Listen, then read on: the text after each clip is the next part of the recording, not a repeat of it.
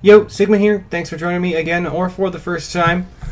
So today it took me about an hour to get this score. I started about an hour late, and um, honestly, I found this team at the very start to be the most frustrating out of all three.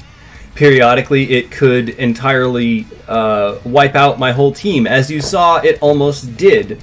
But uh, thankfully, in this challenge, I managed to pull ahead and get my hit points back up to full. And I managed to get a fairly decent damage score, but not perfect. And that has me incredibly dissatisfied. But I suspect everyone's having some kind of uh, issue like that. Um, I can't be the only one. This team is just the first team is just particularly rough, and uh, the final team has enough resistance that it's fairly hard to get through and uh, actually do significant damage. Um, but that's a growing problem anyway. They're trying to push out most of the non-playing player, paying players out of Master League, as far as I am concerned.